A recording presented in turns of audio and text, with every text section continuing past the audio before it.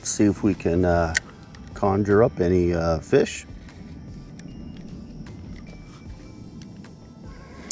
Once again, using the uh, Rebel Popper.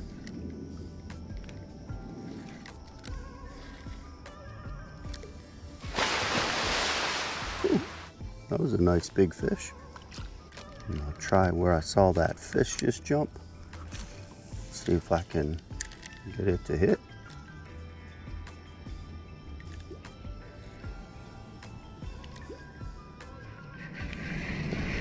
Got my first fish.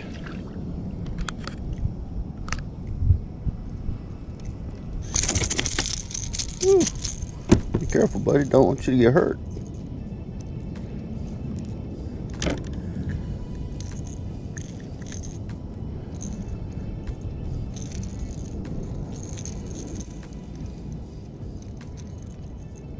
Caught just in that little spot. See if I can. There we go. I don't want to hurt you. What a beautiful fish. Say hi to everybody. So I'm gonna let you go. Fish number one for today. Hopefully that's a good sign. And uh, that actually breaks the uh, spot over here where I kept saying, boy, it's a good spot. I just can't figure out why uh, a fish isn't biting. Well, I finally got a fish to bite over there. Nothing uh, huge, but at least a fish. So I'm excited about that. And hopefully that's a uh, prelude uh, what's about to follow. So let's get uh, fishing and see if we can catch some more. Loving the fact that I can be out. This is our last uh, full day of uh, being here in uh, Florida. Um, we might be here uh, tomorrow uh, for just the morning part of it. So I'm going to be trying to do a little bit of fishing then.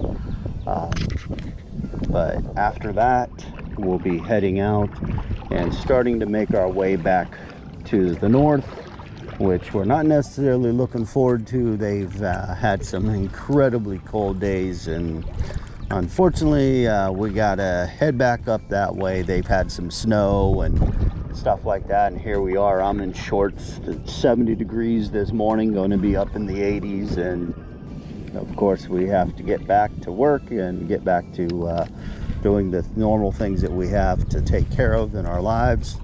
But um, I tell you what, it's been a wonderful uh, vacation.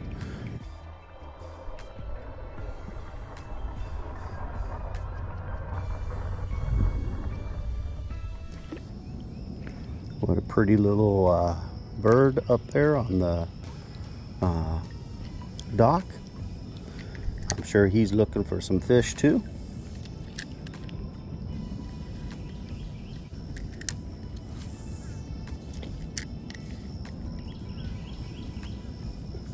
Oh, got one. Yes. Finally. Oh, he kicked off at the last minute. Ah. That's the second fish I had like that today.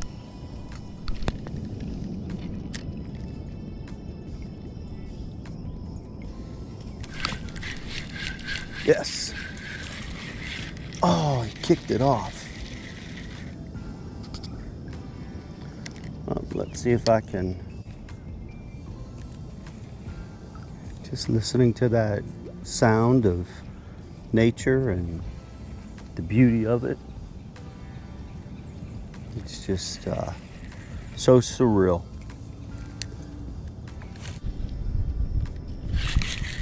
Oh, fish hit it. There's definitely uh, a wind that's definitely messing me up today.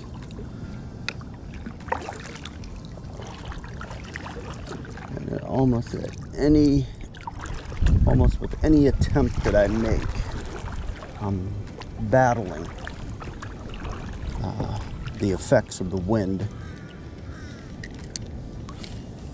So even when a fish is hitting it, it's just it's it's like everything's off. Oh, got one. Let's see if I can keep them.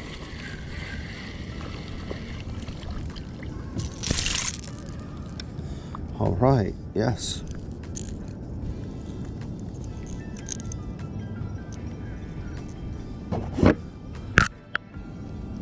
Get this off.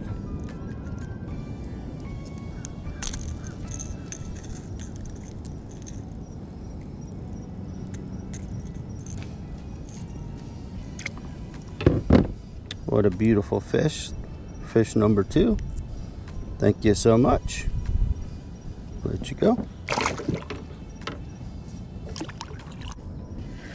This should be a video on how to fish when the wind is blowing on a kayak and you don't have an anchor. Because that's what it's that's what it's mounting up to. how to fish on this kayak and uh, work around the wind looking for the pauses, looking for those moments where you can take a quick uh, opportunity to try to um, catch that fish in, in the moment of calm. You may be one of those fishermen who, sort of like myself, every once in a while, you can just kind of feel if an area is going to um, do well for you or if it's not and uh, sometimes you just you got to go with your gut feeling if you kind of feel that you know. I don't think i'm going to get quite the action that i would be looking for. Then uh, you know particularly if you don't have a whole lot of time go with that gut feeling. Um, i've had many times where trusting my gut going and, and doing something just because it just intuition or something leads you to do it has led to uh, some just beautiful, amazing fish that I've caught that I would not have caught if I remained in uh, the spot. I've gone out where two of us have gone out, had different directions. Um, one of us catch fish, the other one did not, and it could all be a, sometimes a matter of using the same thing. And the big difference was basically uh, you know, sometimes is just that intuition, just something telling you this is where you should cast or this is what you should do, this is when you should do it, and you follow that intuition and to your surprise, to your amazement, all of a sudden, boom, you're you're you're you're the one catching them and you're the one bringing them in. I, I was wondering why it wasn't quite popping. Always check your baits while you're casting them because you may just find out that it's tangled up and that could be the difference maker of you catching a fish versus you uh, not having anything happen. Um, uh, if you're, you probably figure out that what I'm trying to do is take my popper at this point in time and go along the dock. If the wind will permit me,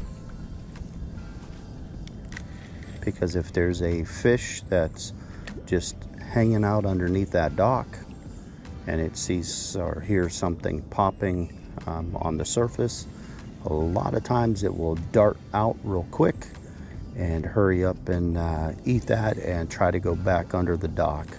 So I've in the past caught myself some real nice fish trying to do that.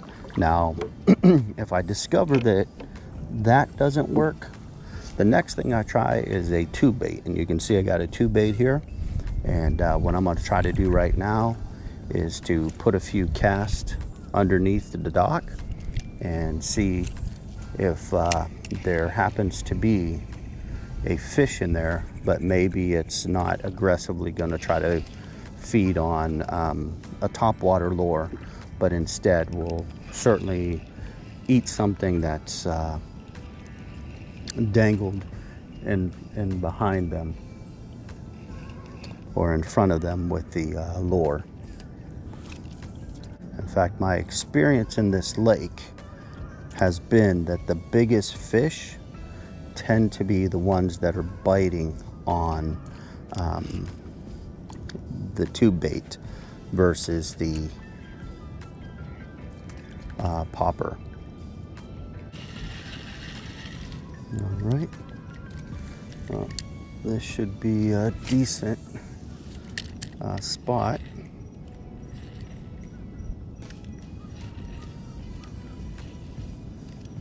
Surprisingly, uh, fishing in this lake, I have only caught bass.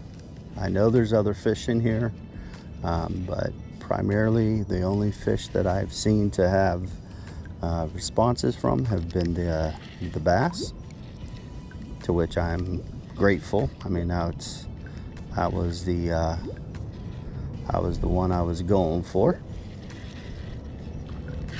Yes.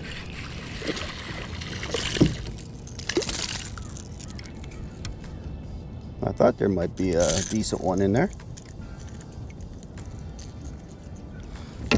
He got he was hungry. He took this all the way in his mouth.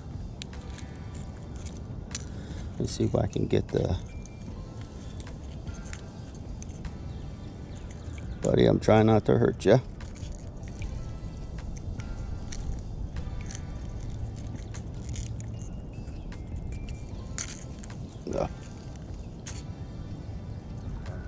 As you can see, I didn't hurt him, didn't mess up his gills or anything like that. He's doing very well, but I had to surgically try to uh, remove the hooks. And just for those of you who go fishing and you find that occasionally you hook a fish in the gill set uh, back in here, the best thing to do is to go from behind, take the fish, loosen it, and go from there and then back your hooks out and slowly one by one put the hooks through the gill set where it's not ripping them or tearing them or making them bleed and then put them through there and then of course when they come out this way just gingerly and carefully go the fish may be more traumatized because you're holding it and handling it longer but um, it's better to do that than to kill it but i'm going to get him back in before uh, he suffers uh, any lack of oxygen but uh, thank you so much. Great fish. And he went, so he's in good shape. But yeah, as you can see, um, I'm not finding any blood or anything like that. It was not, uh, it was not hurt in the sense of uh, that. So basically, it worked out very well. But it was, it was in that position where I've seen other people, um, you know, just give a yank or uh, more aggressively try to unhook that fish and when you do that you're just you're messing that fish up and that fish may may not survive um, and most times you can get it out without uh, needing to uh, injure the fish if you just take a little bit of time put some slack in your line which I did and then just uh, reposition and work from behind the fish in the gill area and just slowly remove those hooks because most times they're just gingerly in there and you can most times just uh, pop them right out. All right, let's get back to fishing. Got another one. I sort of lucked out. I found myself uh, hitting a period where there's very little to no wind. And so it's uh, given me a great opportunity to be able to catch these fish. When I first got out, I thought for sure there would be some rain, but uh, their rain didn't seem to come. It was not projected rain, but what a beautiful fish. Gonna let him go. What makes this uh, difficult too for me is because I know I go home tomorrow and uh, I know that you know if I'm fortunate and I get an opportunity to fish one more time tomorrow um, of course that will be a, a true blessing and treat. Um, but if I do not get a chance to fish tomorrow, and today, in fact, right now, is my uh, last of uh, the fishing that I'm going to have, I know I'm walking into a situation where when I go back, I probably will not have an opportunity to do any fishing unless it's like ice fishing and or uh, fishing from a river and trying to just do some cold water fishing where I might hook onto a bass or uh, something like that. But this this kind of fishing that I'm presently uh, experiencing, I, I, just I know that um, I'm gonna have to wait until late May before I have this kind of uh, enjoyable warm weather. Uh, just get out there. The fish are biting and, and things are just going crazy. So um, with catching fish, but this has truly been a blessing and um, As you know, I set a goal of catching 150 fish. Um, I'm not sure where my count is at this point.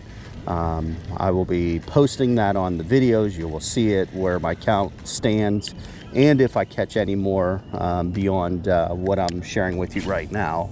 I'm certainly hoping to catch um, some more fish before and that I'm not done um, with where I'm at. But I know I'm probably in the 20s now, uh, somewhere near with the number of fish that I've caught.